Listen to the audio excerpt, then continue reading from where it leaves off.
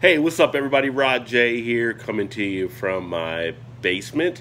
And today is Saturday, which means another beer run day. Let's see what I end up picking up on this trip. Got a few different things here, although I don't need any more for the uh, basement. Still picked up some. Luckily, they're not all staying with me. Let's check it out. All right, everybody. So here's a couple of the uh, boxes here from today out on the beer run.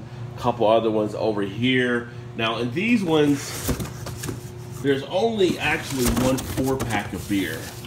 So I ended up picking up the Rhinegeist Striker, which is a limited edition Imperial IPA that they do. Actually, one of my uh, more favorite beers from Rhinegeist, so I wanted to grab that um, while it was still available. And it's actually the first year they canned them, so that's uh, nice in that. You don't have to buy a bomber or anything. The other stuff in these boxes, because you know it's like I end up kind of coming across some of these deals. The place I went to get that at had these glasses, as you can see here, from different breweries. So this is from New Belgium. And initially, it was uh, two dollars a glass if you buy five. They were five. They were a dollar a glass at that point. So you got five for five, and they pretty much told me get as many as I wanted to, and they would just charge me a dollar for each glass. So here's one for New Belgium, which I don't have in my collection, so I'll throw that in there. Over here, I have another one from Abbot Ale, so uh, Greene King. So we'll put that in the collection. Haven't seen any Greene King as much here. I'll have to look for that a little bit more. Boulevard and their Rattlers, another one to be added. And then uh, I think that's the only three in that box. But in this box here, there's actually 12. So I got 15 glasses in total. That included here. This is, uh, look at the name on the label here. I don't know what it is. With dollar glass though, but it's a nice Pilsner glass. And This one here, a nice one from Bad Tom, another one of our local breweries, so that'll be nice in the collection as well. And here's one from Sierra Nevada, so another nice glass. So I'm not going to go through them all, but you can see in the box all the different glasses I got here. So pretty nice along those lines. Even picked up one that was a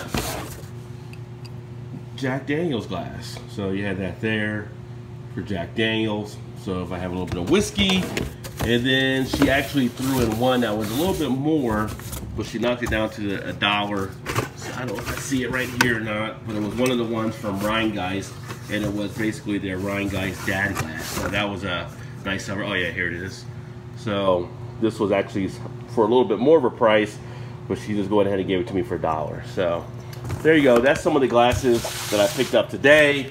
Let's get to some of the other beer. So ended up finding this one out here this is Bruery, and this is their trade winds.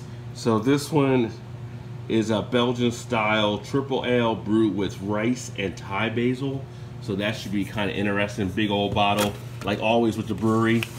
Picked up uh, some platform beer, as you can see here. The High Brow Barista Coffee Rye Pale Ale.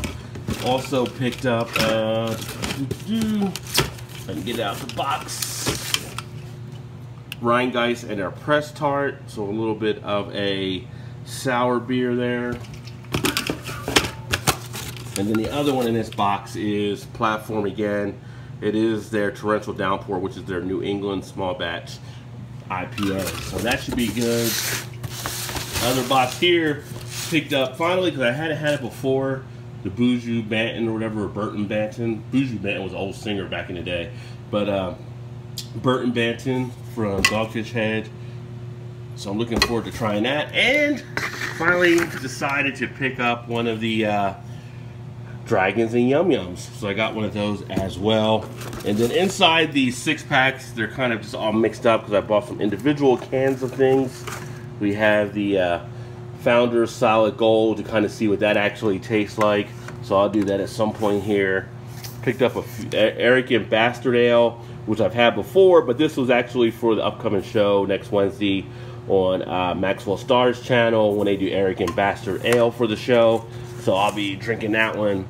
Uh, picked up some Mile High Brewing, their McPoyle. Have not had Mile High, but heard a lot of good things from them. So looking forward to trying that. This is another one of theirs, the Leroy as well, which is a American brown ale. And then I picked up, I picked up like three of each of those ones from Mile High. So the other ones I have here are special limited edition. Nowhere in particular. This is the batch number 21 double dry hopped IPA. And this is an ale brewed with red raspberries, lemon, and Enigma Hope. Funny. So that's that one there. And the other one is also a limited edition. I get it out the can here, my fat fingers. It is from nowhere in particular. It is a double rice IPA, India Pale Ale. So that was the uh, beer run for today. Here's all the other boxes still down here with some different things in there as well, although I am making some headway and I've got some in the fridge.